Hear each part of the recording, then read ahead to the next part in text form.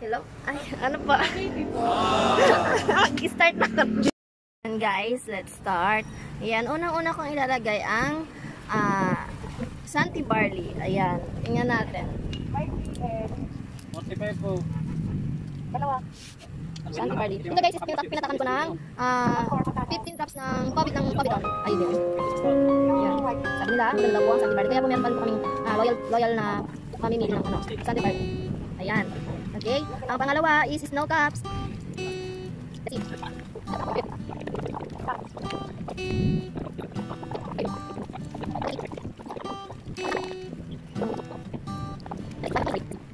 I got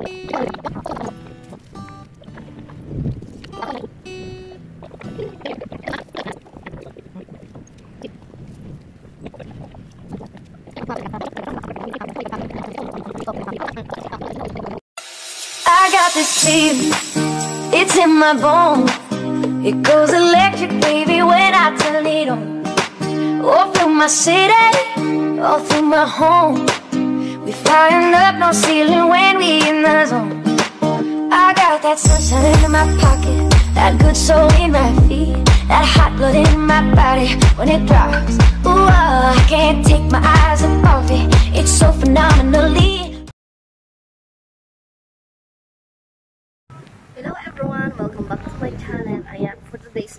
is magkakaroon ulit tayo ng ah, experimentation time. Ayan, ah, magkakaroon, magkakaroon tayo ng ah, product review na nito ang tayo. Snow Caps, MX3, and Barley Pure Capsule. Ayan. Tingnan natin, bakit sila mabenta dito sa amin? Ayan, four, four products na mabenta sa amin na ah, ipapakita ko kung gaano siya ka-effective mag-detoxify. Ayan. And let's see. Hello guys! Ah, it, ito na po yung ah, liquid po na nilagyan ko ng povidone iodine at ng mga gamot. Unang-una po nating ipa-product review is yung Santi Barley Pure Pure Barley po. Ayan, ito po po guys. Ayan, 15 pesos po sa amin yan. Mabenta po ito sa amin guys.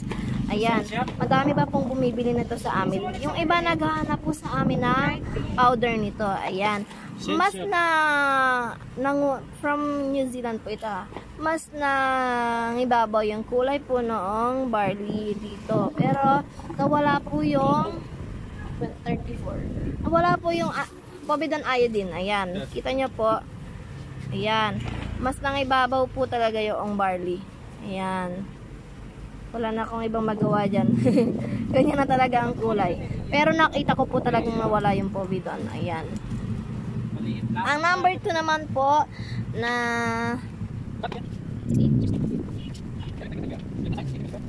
ang number 2 naman po guys is ito. Ang snow caps po. Yan. Ah, tawag dito. Meron po kaming loyal buyer po ng snow caps. Dati po is maitim siya. 2 years na po siyang gumagamit ngayon. Ah, hindi. 3 years na po. As in, sobrang puti na po niya. Ayan. Ah, bale, meron pong nadagdag na ibang customer kasi nga, ah, kinikwento namin yun, yung isang loyal naming buyer. Talagang, ah, ang puti-puti niya. Kahit ako naiinggit ako sa kulay niya. Ayan. Ito po yung ito po yung snow caps. Ayan. Hindi po, nagtataka ako bakit hindi po masyado siyang nag-clear. Ito, dapat 'di ba nag-clear ito. Kaya lang, nakita ko po is meron po siyang combination ng lipoic acid. Ayan. Ah, hindi lang po ito glutathione, kundi meron din po siyang additional na vitamin C at lipoic acid, alpha lipoic acid yan. So, maybe yan yung reason kung bakit hindi po siya nag-clear, hindi po siya naging kulay puti. Ayan dahil po sa lipoic acid content nitong pangalawa po natin ang snow caps. Meron po talaga kaming loyal buyer nito. Ayan kahit ako inggit na inggit ako sa kulay niya. Ah, ah, ang inom niya sometimes is two times. Minsan ah, isang capsule lang sa isang araw. Tinatanong ko naman siya ah, ganun naman yung sinasabi niya palagi sa akin Yan. Tapos, pinapartneran niya lang po ng kojic acid soap at moisturizer po na Nivea lotion. Yan. Yung balat niya. As in, ang puti-puti niya. Wala nga lang akong picture ngayon kasi hindi ko pa siya ulit nakikita. Minsan kasi sa iba daw siya bumibili, pero mas mura kasi dito sa amin, 49 lang, sa iba 52. Kapag kasi umaalis siya, no choice siya, sa iba siya nakakabili. Yan. At ang pangatlo naman pong product is ang MX3.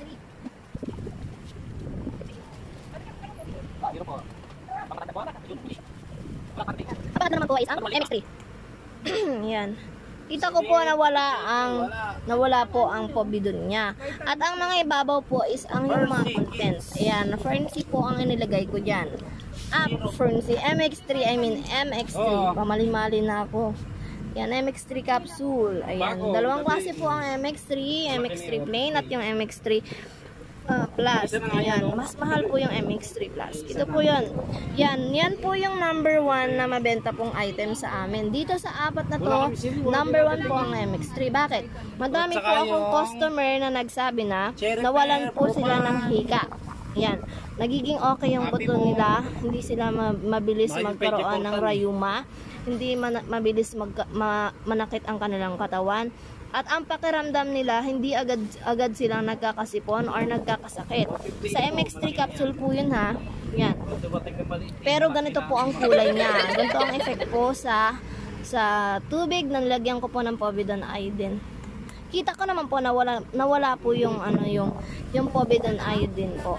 At ang mga ibabaw po is yung color po ng content ng MX3 capsule. Ang pang-apat naman po is ang glutathione. Glutathione, ah, kasi I mean, saan na yun? Batil Lloyd? Usang ko na ilagay. Ang batil.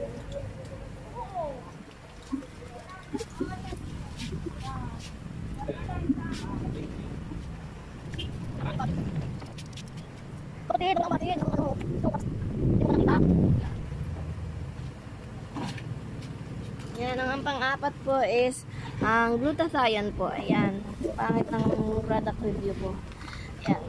Bali po, ang pang-apat po is ito. Nag-clear po siya.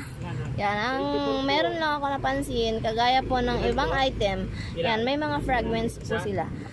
Ay, Kagaya ng ibang gamot, I mean. Yan, may fragments, may fragments po, may fragment din po. Ito po may fragments din po. Yan.